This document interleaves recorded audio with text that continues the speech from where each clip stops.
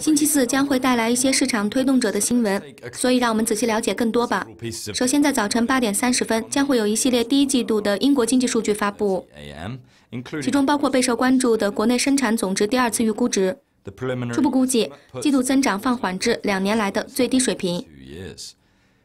商业投资初值也将会在同一时间发布。第四季度的数据意外下降，在经过两个季度的增长后。此外，四月英国抵押贷款许可也将会在本时段发布。在过去两个月，许可数量持续下降，这一趋势可能会继续延续下去。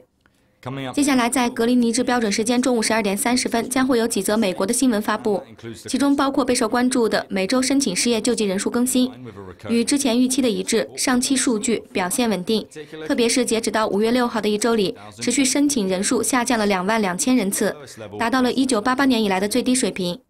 四月商品贸易平衡也将会在同一时间发布，由于出口下降速度超过进口，三月份贸易赤字扩大。四月批发库存初值也将会在同一时间发布。三月份初值显示库存量有所减少，但是随后修订后的数据显示出了增长。